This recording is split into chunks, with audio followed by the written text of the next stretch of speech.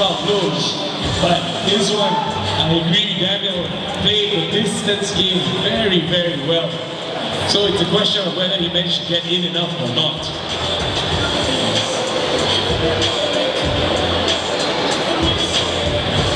And the scores are in. I have the winner. And the winner of this fight,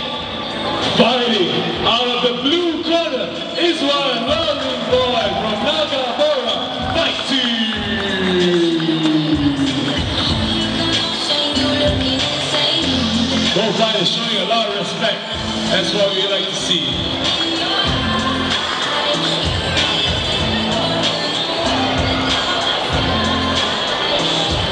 Izwan walks away with two points. Now adding another win. His, his record right now is five wins, zero draws, three losses. Christopher getting his first loss to his record.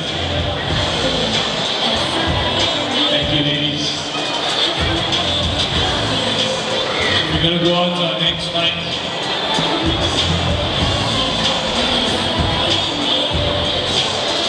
Next fight of the day about to take place.